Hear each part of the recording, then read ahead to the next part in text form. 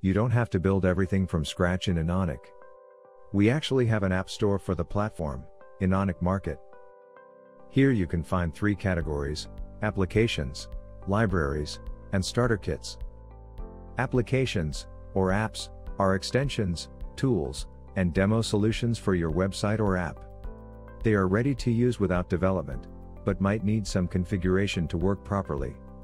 Examples of apps include the Headless Movie Database, Enonic Explorer, SEO Metafields, Superhero Blog, OpenID Connect Provider, and Data Toolbox.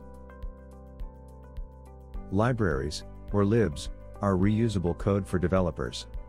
An example of a lib is the Guillotine Headless API, which automatically exposes a powerful API for your content. Other libs include templating frameworks like FreeMarker and Mustache.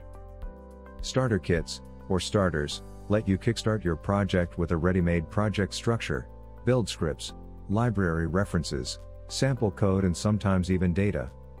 Starters are meant for developers who for instance are using Webpacks, are building progressive web apps, or are using the Headless API.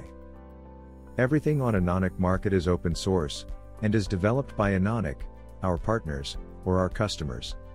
All apps, libs, and starters are reviewed by Enonic before becoming available for the general public.